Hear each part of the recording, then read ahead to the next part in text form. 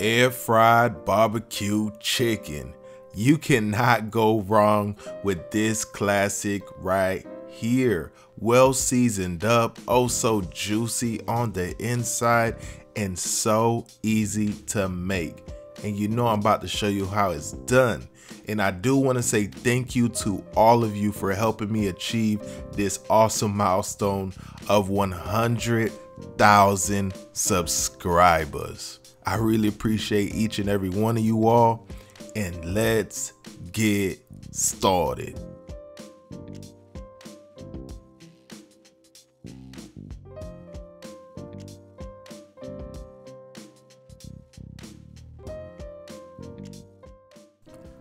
So to begin, we have eight drumsticks and what I'm doing is just drizzling a little bit of olive oil and I'm gonna take both hands and get in there and give them a nice massage as we always do.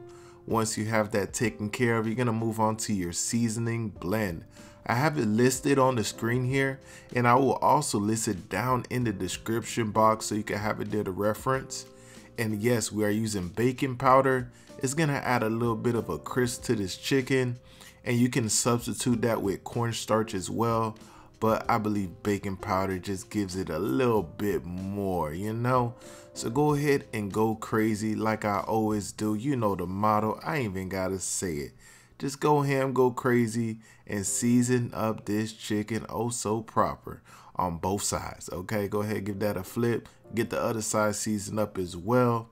Once that's taken care of, we then move on to loading these bad boys in our air fryer. And if you haven't already, do your boy a favor, drop a like, let YouTube know that you are enjoying this video. And if you're new to the channel, feel free to subscribe, hit that notification bell so you don't miss out on any videos. All right, so now I'm loading up my air fryer. I'm gonna grab all this chicken and load them in this tray and we are gonna cook them at about 380 degrees for about 25 minutes and halfway through the cooking process, we are gonna give our chicken a flip, all right? So we have them loaded up and this is the halfway point right here. They are looking good already.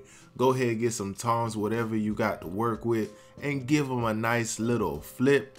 Once you flip them over, you're gonna load them back in and let them go for the remainder of the time.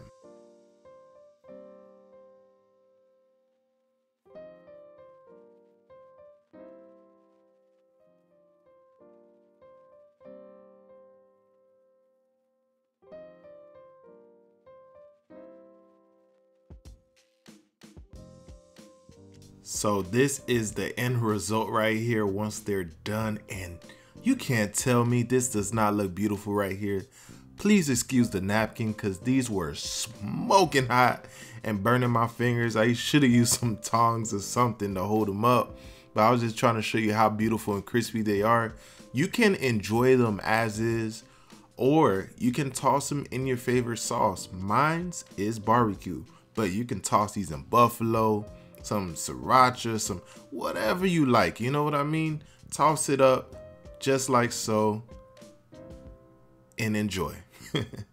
this is so good right here. And like I said, you don't even have to sauce these up. These are good as is, nice and crispy. And yeah, the sauce is gonna get rid of a little bit of that crispiness, but yes, it's still delicious. Um, and I mean, look at it. Look at it, look at it, look at it. It's so good. I'm trying to let you know. I hope you all try this one because it's nice and easy, but super delicious. If you know what I mean.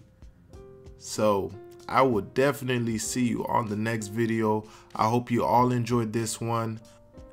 Thank you again for helping me achieve that milestone. I could not do it without each and every one of you supporting the channel. I will see you on the next one. Deuces.